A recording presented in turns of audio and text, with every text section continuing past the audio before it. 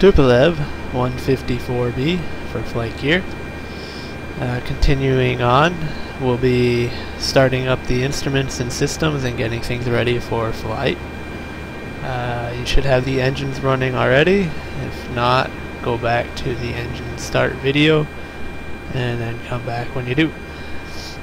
Uh, starting off, let's charge the emergency brake system here. Hold this button down until the red light goes out.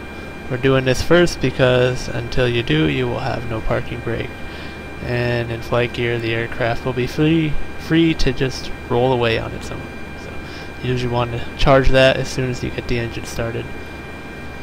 Uh, next, we'll go to the overhead panel and we'll start turning on power for the different instruments and systems. Start with the angle of attack and G meter, power for the electrical altimeter, power for the turn coordinator, and standby horizon, power for the vertical gyro system, power for the reference vertical gyro, and main vertical gyro,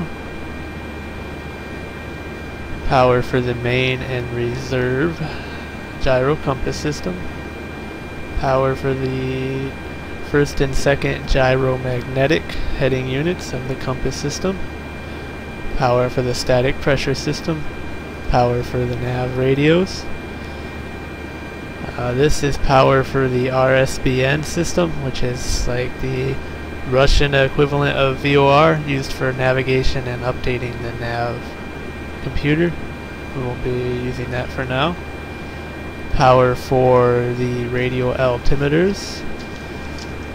Power for the communication radios. ADF radios. Power for the Doppler system used for detecting drift and ground speed. Uh, this is the mode switch over water, over land, and the operation mode switch will put up into the Doppler position. And next we are going to align the gyros. So go ahead and go to your sub view and get a good look at the instrument here. First off we'll need to input our current latitude into the scale here.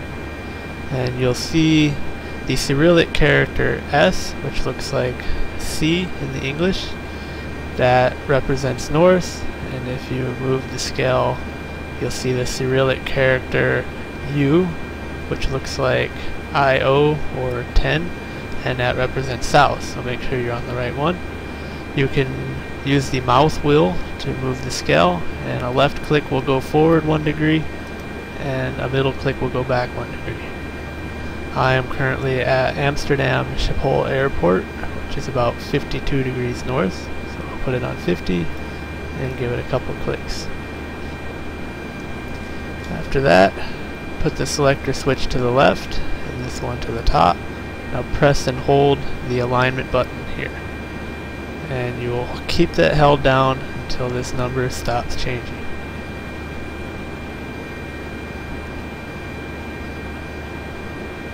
Okay, and when it's done, we'll put the switch to the bottom and press and hold again. And this time, we're affecting this set of numbers.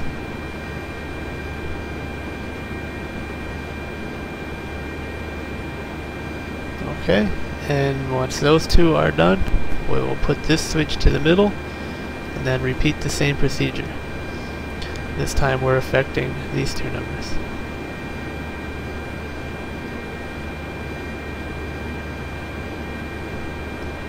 And then to the bottom just like before and align the last one.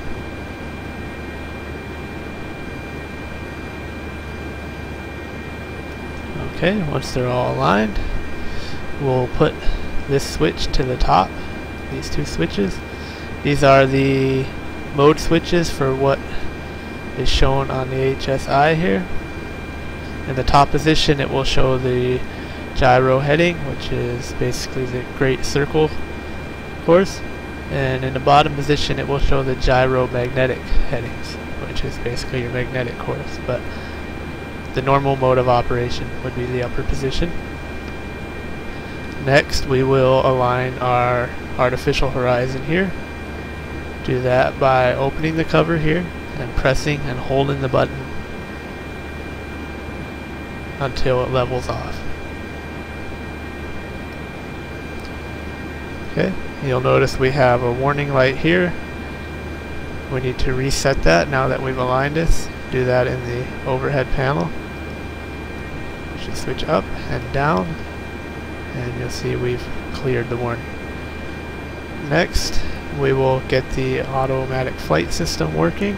This is the autopilot, flight director, many other things.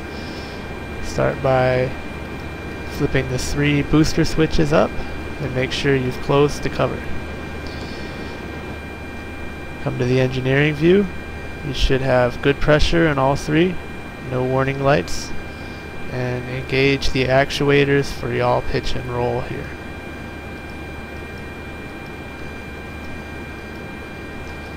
And then we'll want to turn on the stability switch here. And then in the overhead panel we can turn on the power for the system.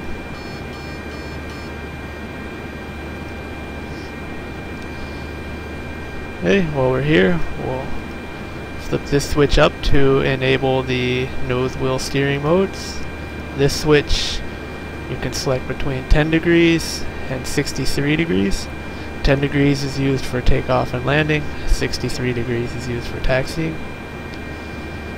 These are your uh, taxi and landing lights. This switch extends or retracts the lights. And bottom position is taxi lights, top position is landing lights. Put it in a taxi position. You need to check that your stabilizer lever is in the proper position. You can click on this gauge here, the stabilizer gauge, and get a readout on the bottom of your weight and then center of gravity. Below 28%, we want to put the lever in the bottom position. And you can look in the manual for the proper positions how to use that in more detail. you would check that your altimeters are set properly. And basically now you are ready for taxiing. While taxiing you would normally extend the flaps. And when you're lined up on the runway you would put the switch to 10 degrees at which point you'd be ready for takeoff You'll notice we still have the not ready for takeoff light blinking here because we haven't extended any flaps and we're still in the 63 degree position. If we go ahead and extend some flaps,